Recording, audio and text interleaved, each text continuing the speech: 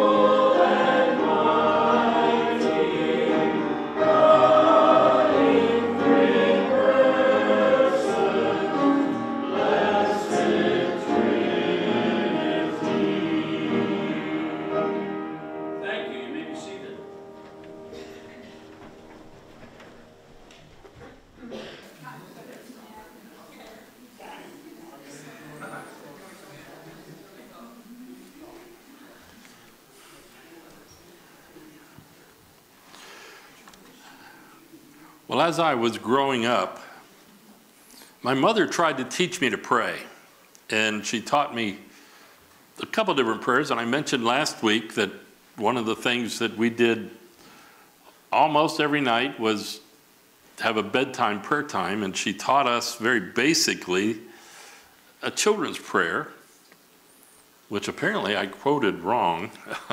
But it was, Now I lay me down to sleep, I pray the Lord my soul to keep. If I should die before I wake, I pray the Lord my soul to take. God bless mommy, daddy, sister, you know, you go through the list. But it, she also taught us a prayer of thanks before we ate. We always had, whether you call it a blessing or a prayer thanksgiving, but we prayed before we would eat. And she taught us to pray God is great, God is good. Let us thank him for our food. By thy hands we all are fed. Give us, God, our daily bread. And when we stayed a few months with my sister and her husband, and their kids were just little, we got tickled because one of my nieces, they were just little, I don't know, five, four little ones. But my brother in law and sister would have the kids pray. And one of the girls almost always prayed Make this food yummy and tasty and balanced to my body. like, well, that's a good thing to pray. There's a lot of different types of prayers that people pray over their food. This one says, Bless us, O Lord, for these thy gifts which we are about to receive from thy bounty through Christ our Lord. Amen. That's a good one. This one is called an Irish prayer. I don't know why, but because there's nothing about potatoes in it, but it does say, Bless, O Lord, the food we are about to eat, and we pray you, O God, that it may be good for our body and soul. And if there be any poor creature hungry or thirsty walking along the road, send them in to us so that we can share the food with them, just as you share your gifts with all of us. That's a good one. That one's worth memorizing. That's a good prayer. The practice of praying before meals really has deep roots.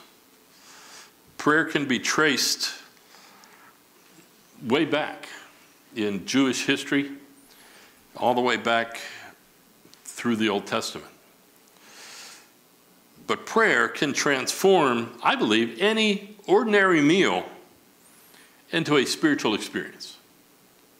Now, I don't know if it's your practice to pray over your meals, to pray over your food, but it is a biblical practice. In Jewish culture, blessings were recited before each meal in accordance with, of course, religious laws. Now, these traditions not only express gratitude for God's blessing, but also recognize his dominion over all creation. And we sang about that this morning.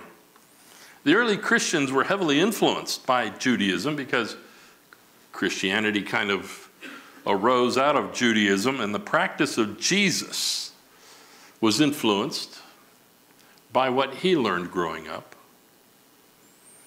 And so the early church adapted this practice of praying for their meals in their own communities. It was a continuing practice. Prayer before meals isn't merely an habitual act, it's not something that's just habitual. I always get tickled because it's not only in this church, not so much recently, but uh, in most churches, when we had church dinners, things would be ready, but of course the pastor is still greeting the last people to leave and, and doing what pastors do at the end of a service, and everybody is standing around waiting for the preacher to come to bless the food. And people are getting a little annoyed because I want to eat, and the preacher's not here. But it's not only at church dinners, it's other places where it becomes the habitual practice for the preacher to pray. Even when I was attending Rotary meetings, every time I was there for the luncheon, well, it was my job to say the blessing over the food, which I did. but it just becomes more of a habit than a meaningful spiritual experience. Because the practice really acknowledges God as our provider and gives us an opportunity to express gratitude for his blessings. And the Bible gives us example of this practice. Jesus himself, remember, took the loaves and the fishes prior to feeding the 5,000, and it says this in Luke 9:16, taking the five loaves and the two fish and looking up to heaven, he gave thanks and broke them. Now, there are two recorded episodes in the Gospel of Luke where, in his resurrected life, Jesus prays with and for his disciples. Now, this is our final study in the series that we've been looking at for a number of weeks Praying the Way That Jesus Prayed, which, remember, for those who have believed on the Lord Jesus Christ, for those that have received him as their Lord and Savior, we are being conformed into the likeness of Christ. That's what it says in Romans chapter 8, verse 29. For those God foreknew, he predestined to be conformed to the likeness of his Son. And so, if you have received Jesus Christ as your Lord and Savior, you are in the process of being conformed to the likeness of his Son.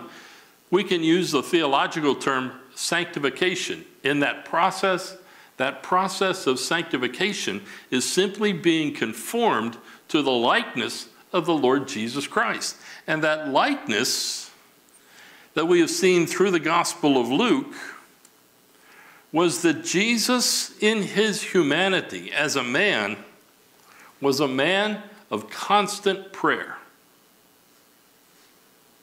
And so, our prayer life, if we are being conformed into the likeness of Christ, our prayer life ought to resemble the prayer life of Jesus. And so, when we pray like Jesus prayed, we will see transformation and supernatural events, supernatural intervention in our lives, because our prayers, our prayers will be answered. When Jesus prayed, do you think God the Father answered his prayers? Don't you think that? If anybody ever got their prayers answered, it should have been Jesus. And so, if we begin to pray like Jesus, we can pray with that expectation that God the Father is going to hear and He's going to answer those prayers because we are praying like Jesus prayed. Now, the first episode in the Gospel of Luke of the resurrected Jesus praying with His disciples is with the two disciples that He meets he meets up with on the road to Emmaus. So uh, open your Bibles to Luke chapter 24. This is one of my favorite resurrection appearances of the Lord Jesus Christ. On the road to Emmaus with the disciples. And as you're turning to Luke 24, listen to what Vance Havner, one of my favorite old time preachers from North Carolina, from Hickory, North Carolina, said in his book, Why Not Just Be Christians? He said this about the appearance of Jesus on the road to Emmaus The living Christ walks beside us, ready to change us from weaklings to witnesses, to give us the garment of praise for the spirit of heaviness. He may not meet us in a blinding vision or in a thrilling ecstasy, but if we have trusted him and yet our faith has grown dim and dry and disappointing, we have a right to a brand new experience of the living Christ, which will turn us around on the Emmaus road, straighten our drooping shoulders, and start us out in another direction to bless others, even as we have been blessed. That's the Emmaus encounter with Jesus. So look in Luke 24, look at beginning in verse 30.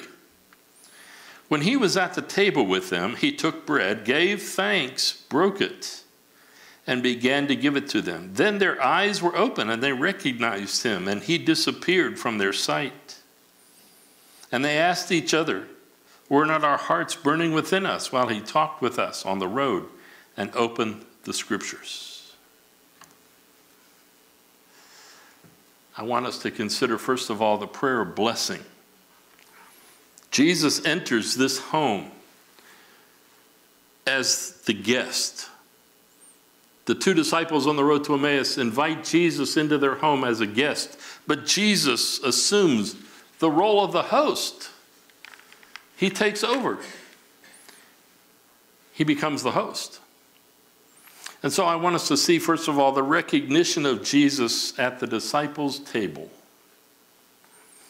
Jesus, it said, the scripture says, took the bread and he would look up to heaven and say the blessing.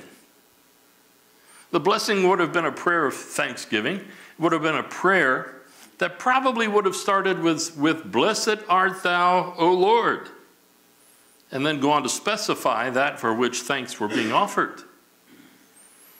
The bread was commonly broken at the prayer of thanksgiving before meal because remember the, prayer, the bread was baked or prepared as a loaf. We didn't, they didn't go to the cupboard or go to the store and buy a loaf of bread, sliced bread. It was, oh, we would say homemade bread, but it was baked in a loaf. And as they gave the blessing, the bread would be broken. And there was something in the action and this prayer of blessing that Jesus offered that caused the eyes of these disciples to be opened. And it says they recognized him. All the while they walked on the road to Emmaus and they talked with Jesus, they didn't know who he was. And they, but he explained the scripture to them and said, Were not our hearts burning within us while he talked with us on the road and opened the scriptures? God was working in their hearts as Jesus was explaining from the Old Testament everything the Old Testament said about him. But when he sat at the table with them and blessed the food and broke the bread, their eyes were opened. Perhaps they saw as he broke the bread, this is just suppose, but as he broke the bread, they would have seen his hands. They would have seen the nail scars in his hands as he broke the bread, probably for the first time. But I think his actions as he broke the bread and he gave thanks and broke the bread and says, and he gave it to them. I think his actions were similar to the actions that he did that night of the Passover before he went to the garden and was betrayed. We celebrate it, what we call communion, where it says Jesus broke the bread and gave it to his disciples. I think as Jesus sat at their table, and again, he becomes the host. He's the one that takes charge, and he offers the blessing, and he gives thanks and breaks the bread and offers it to them suddenly their minds were like, this is Jesus. Jesus is here. At that moment, they recognized that this was the Lord Jesus Christ, the resurrected Jesus. And for whatever reason, it says they, they recognized him and he disappeared from their sight. They recognized him and it was like, I'm out of here. And he was gone. Well, the second thing I want us to consider with the prayer of blessing here is the recognition, the recognition of Jesus at, at your table, at our table. Praying like Jesus prayed means that before you eat, you take time to recognize God's blessing in your life. By recognizing God's blessing in your life, that He has provided food for you to eat and you give thanks for his love and grace. You see, the dinner table, especially, is a great place to recognize the presence of Jesus and to praise him. You praise him as the provider of all my needs. Now, I know that family dinner times have changed dramatically since I was a kid, probably since you've been a kid. Families don't always get together and eat all together anymore. Sometimes they do, but lives have become so hectic, schedules are so full. Spending time around the dinner table can be a challenge. But praying before you eat, whether it's having everybody together around the table, or whether you are eating lunch with everybody at work, or whether it's um, having your lunch by yourself out under a tree, you need to pray before you eat because praying before you eat with will keep, I believe, your communion with God through the Lordship of Christ really in your common everyday activities. In other words, it's not just a religious activity, it's not something just the pastor does when he's around or when he comes over to visit. We recognize the activity of God in our everyday lives. And so praying at every meal is important because our daily bread, Jesus said, and Mike led us in the Lord's Prayer, part of that prayer is give us today our daily what? Bread. So who feeds you? My wife. No, it's not your wife. It's not your husband. It's God. And so our daily bread is provided for us and broken to us by the hands of the Lord Jesus Christ. Matthew Henry, in his commentary, said, Whenever, wherever we sit down to eat, let us set Christ at the upper end of the table.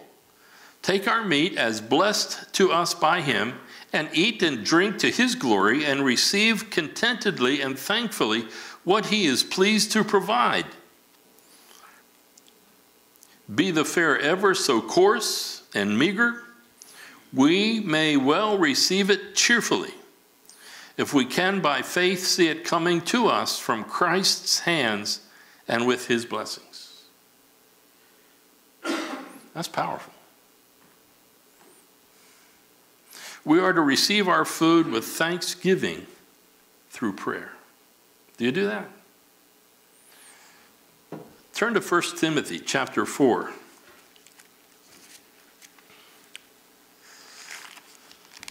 1 Timothy chapter 4. And I want us to begin in verse 3. Paul, writing to Timothy, says, They forbid people to marry and order them to abstain from certain foods which God created to be received with thanksgiving by those who believe and know the truth.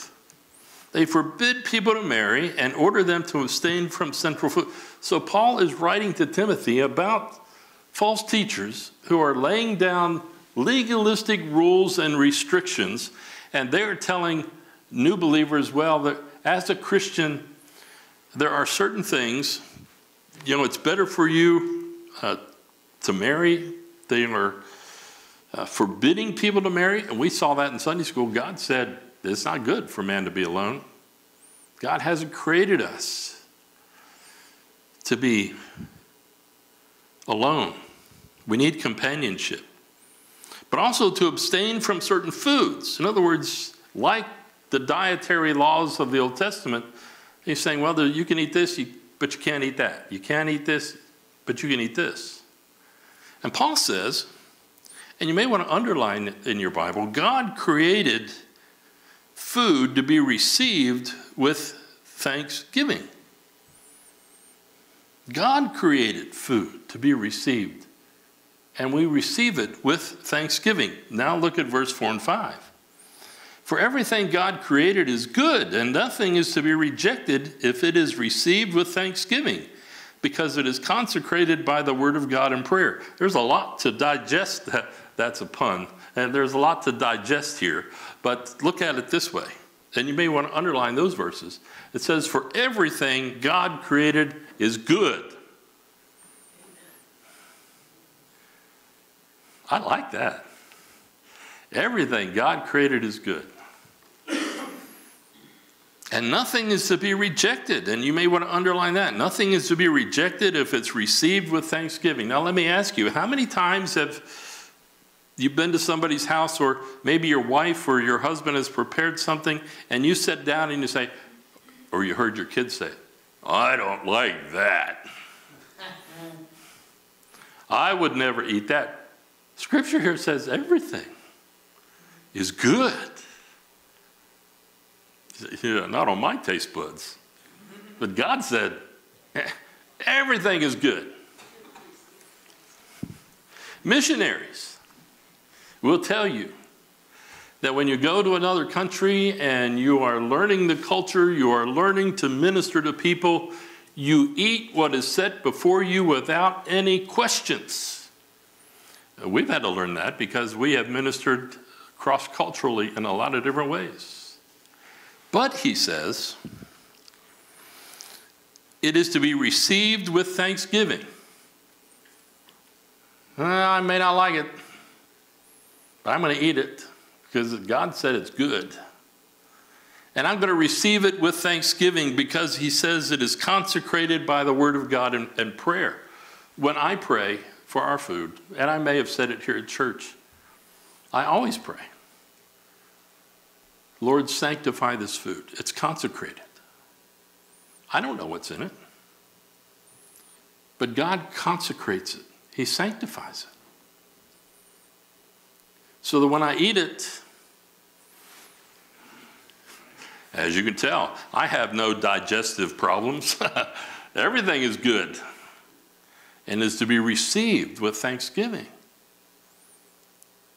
And we pray, sanctify it by the Word of God. Praying. When you fail to pray, when you fail to pray a blessing before you consume a meal, I think you demonstrate an attitude like the character that Jimmy Stewart plays in a movie called Shenandoah.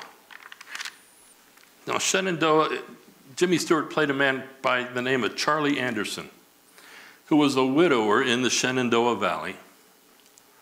And his family is being strained by the Civil War. He loses family members because of the war. But he's always asked to say grace at the dinner table and understand he has had a terrible life. I mean, gone through one problem after another. He has a bitter attitude. And here's his prayer in that movie. And I think this is the kind of attitude we display if you fail to do what Jesus did uh, and bless, pray a prayer blessing. He said this Lord, we cleared this land. We plowed it, sowed it, and harvested it. We cooked the harvest. It wouldn't be here if we wouldn't, and we wouldn't be eating it if we had done it, if we hadn't done it all ourselves. We worked dog bone hard for every crumb and morsel. But we thank you, Lord, just the same for the food we're about to eat. Amen. You ever prayed that kind of prayer? You may not have said it, but sometimes that's our attitude when we don't take the time to make our meal a place of worship and thanksgiving and gratitude. Well, there's one last prayer the resurrected Jesus prayed, and that's here in Luke chapter 24. So go back to Luke 24. And we're going to look at verse 50. When he had led them out to the vicinity of Bethany, he lifted up his hands and blessed them. While he was blessing them, he left them and was taken up into heaven. Then they worshiped him and returned to Jerusalem with great joy. And they stayed continually at the temple, praising God. And I call this the benediction. Benediction and blessing are kind of the same. But this is the benediction of Jesus. Jesus took the initiative. He led the disciples out into the vicinity of Bethany.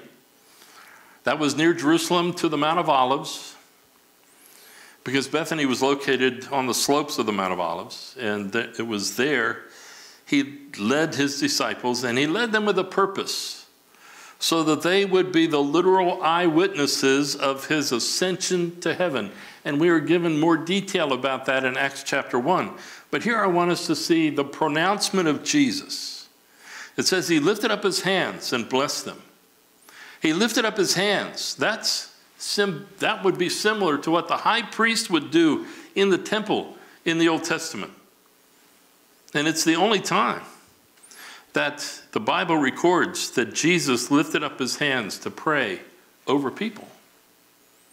But he lifted up his hands and prayed. That Old Testament priestly blessing, I believe, from Numbers chapter 6, verses 24 through 26, where Moses is instructed to tell Aaron, the high priest, this is the benediction that the high priest was to pray.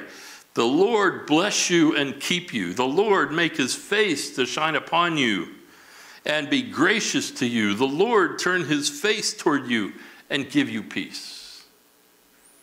As Jesus lifted up his hands, I believe he prayed that over his disciples. And it says, as he continued, as he was, as he left them and was taken up to heaven, he continued blessing them. The disciples heard a prayer. They saw a prayer because these outstretched hands of Jesus had nail prints in them that Jesus bore for them the marks of the cross.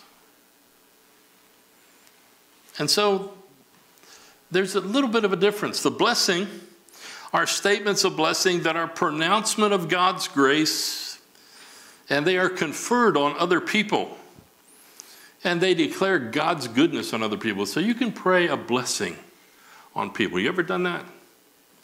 Asking God to bless them, for God's grace, for God's goodness to be on them. But I believe this prayer was more of a benediction. A benediction is a declaration of God's blessing on people. And it includes a request for divine help, divine guidance, for God's love to be bestowed on them. And it usually, it's usually given in our day at the end of a worship service. At the end, the benediction is pronounced. Now, we don't do it formally. Some churches do a formal benediction. Again, Matthew Henry, in his commentary on Luke, said, His being parted from them did not put an end to his blessing them. For the intercession which he went to heaven to make for all his is a continuation of his blessing. He began to bless them on earth, but he went to heaven to go on with it. That's what we're told in Hebrews. We are told that our high priest, the Lord Jesus Christ, ascended into heaven, and he is there making intercession for each one of us. We've already talked about that in this series that Jesus is praying for us, but He is blessing you. That prayer benediction is continuing as He continues to hold out His hands and pray God's blessing on us. The ultimate blessing that God has given, of course, is the eternal life and forgiveness that comes through faith in Jesus Christ. The apostle Paul wrote in Ephesians chapter 1 and verse 3, "Praise be the God and Father of our Lord Jesus Christ, who has blessed us in the heavenly realms with every spiritual blessing in Christ." Have you received those blessings? Have you received those blessings of God of every spiritual blessing in Christ Jesus? That's a lot of blessing. We need to receive God's blessing. We need to count our blessings. That's a great song, isn't it? Count your many blessings. See what God has done. Because Jesus pronounced the benediction. And the result there is the praise of the disciples. They worshiped him. And says they worshiped him with great joy. Warren Wiersbe, in his commentary on Luke, said the last thing our Lord did was to bless his people, and the first thing they did was to worship him. The two always go together. He opened their lips to worship and praise him. You want your worship experience on Sunday to be full of joy? Count your blessings. Name them one by one, and when you come to the service, all you can do is praise and worship God with great joy because just think of everything that He's done for you. Now, I would assume, because I can see you and you're sitting here in a pew this morning, that most of you got out of bed this morning. Some of you may still be asleep, but you did get out of bed and you came to church. Isn't that a blessing? I had a friend that always said, he's blessed because he was vertical and he was ventilating. he was upright and he could breathe. How are you? Well, I'm vertical and ventilating. Can you praise God for that? You may not be able to praise God for anything else, but do you have a roof over your head?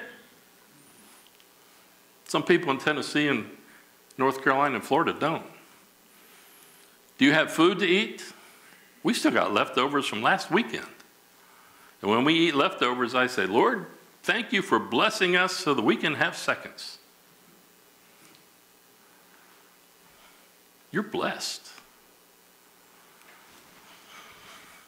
We need to receive it. We need to give thanks. We need to worship with joy. So the question is are you being conformed to the likeness of Jesus Christ? If you are, you can pray like Jesus prayed.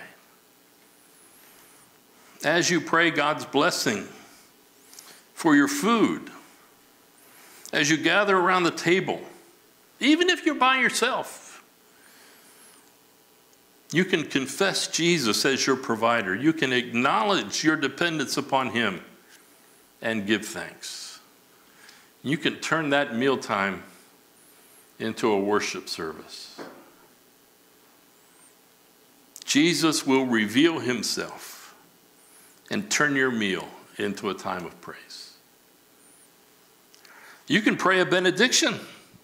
You can pray a prayer of blessing over people a release of God's grace and goodness into their lives that will result in praise and worship on their behalf as they experience God's grace and God's goodness. Jesus began his ministry that we've looked at here in the book of Luke at his baptism, and he began it in prayer. He ended his earthly ministry. Now I know he's alive and lives forevermore, and he has ascended into heaven. He is interceding for us, and we receive all of the blessings that he has provided. But when he left this earth, he left this earth praying as he went. Jesus was a person of constant prayer. Are you that way? If you are being conformed into the image of Christ, then that prayer life of Jesus ought to be your prayer life where you find yourself praying, as the Bible says, in all things. Pray without ceasing. Well, that pretty much describes the life of Jesus. And that's how Jesus wants you to pray. Father, we have tried to cover this topic through the book of Luke. And I think we've probably just scratched the surface. John, when he wrote his gospel, told us that the world could not contain all of the books that could be written about the life of Jesus. But we've looked at as much as we can through the Gospel of Luke to try to learn how to pray like you, Lord Jesus. And I just ask in your name that you would begin that work of transformation and conforming us to your image and likeness and reproducing your life of prayer in us. That, Father, we would be people who never fail, whether in private or in public, to take the time to pray for our food that, Father, we would be bold and pronounce a benediction of blessing upon our families, upon our friends and neighbors and the people here in the church. Father, we thank you for all that you've given to us in Christ Jesus. Help us to walk in faith and receive all that you have provided for us. In Jesus' name I pray. Amen. Amen. Mike announced and, and shared with you a little bit about the insert that's in your bulletin. Devote yourselves to prayer. The logical conclusion of this whole series of studies is to put into practice what we've learned. And we do have prayer services on Sunday morning, that's early. We do have a noon prayer service But I want to encourage you that if you would want to strengthen your prayer life, want to join together in prayer, to complete this, whatever day of the week is convenient for you, best for you, what time of day, put your name on it. You can give it to me, give it to one of the elders, because we need to come together as a church. Where two or three are gathered together in my name, Jesus is here. The world's not going to get any better. And the Bible says, as we see the day approaching, we need to meet together and encourage one another, and we'll do that through prayer. What we studied in Sunday school this morning said we need companionship. We need each other. We need to pray. So, my encouragement to you this morning in response to this whole series of messages is for you to be committed to the ministry of prayer, not just by yourself. Like I said, you can get the email from the church, but we need to gather together as brothers and sisters and pray for one another, pray for our community, pray for our country, pray for God's church around the world. Let's sing together. Oh, come to the altar. Our last song.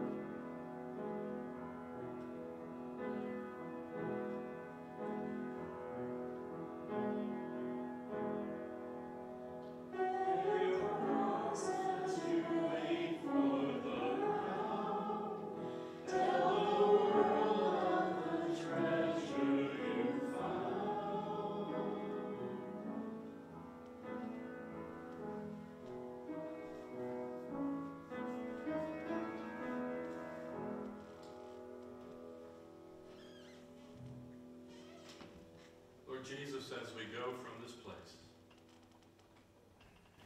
help us to tell the world of the treasure we have found in you. The hope, the joy, the peace, the provision that you make for all of our needs. We give you thanks. And Lord Jesus, it's in your name we pray.